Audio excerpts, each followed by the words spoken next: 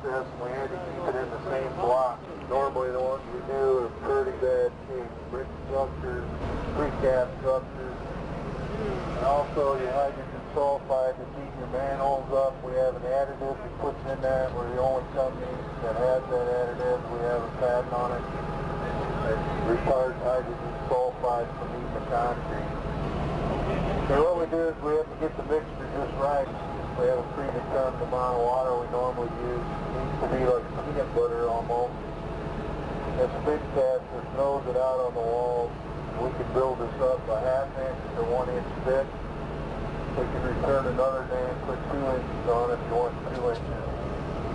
Normally we recommend anything 10 feet below you, you would apply one inch. Anything above 10 feet would require half an inch structure sound.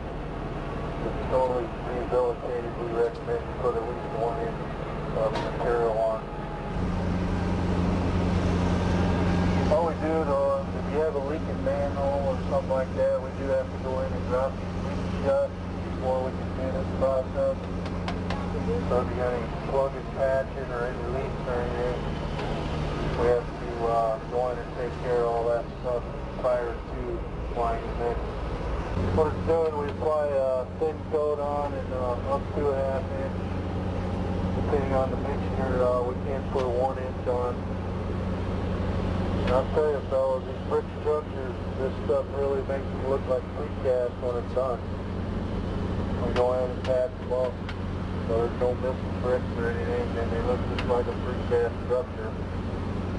Pull that mix out, if you can just pull that out of there, it'd be one solid piece, like a liner inside of a, a pipe, just like you've seen over there.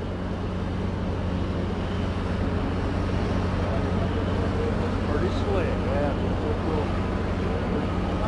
We can also apply uh, epoxy.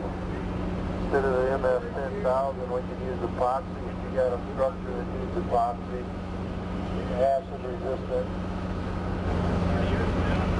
This is kind of a demonstration, fellas. We had a lot more than this on, but we just kind of want to give you an idea how we apply it.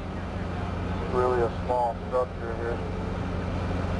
So we take a brush and go in and brush it out, draw it out, so there's no hangers in there.